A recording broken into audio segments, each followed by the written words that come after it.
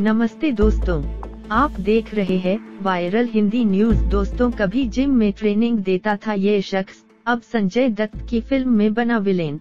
Bollywood actor Sanjay Dutt starrer film, Bhoomi 22 सितंबर से बड़े पर्दे पर रिलीज़ होने जा रही है। एक्शन और थ्रिलर से भरपूर इस फ़िल्म में संजय दत्त, अदिति राव हैदरी और सिद्धांत गुप्ता मुख्य भूमिका में हैं। वहीं, शरद केलकर ने इसमें विलेन का किरदार निभाया है। बॉलीवुड के छोटे और बड़े पर्दे पर अपनी कला का जौहर दिखा रहे शरद मध्य प्रदेश के ग्वालियर शहर के रहने वाले हैं। जानिए, शरद केलकर के बारे में।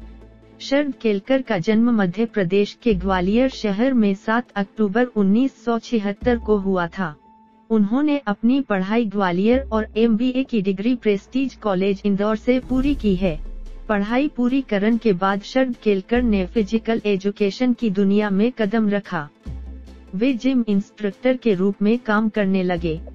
इसी बीच उन्हें एक बार सात दिन के लिए ग्वालियर से मुंबई जाने का मौका मिला, जहाँ वे 2002 में ग्रेसिम मिस्टर इंडिया के फाइनलिस्ट बने।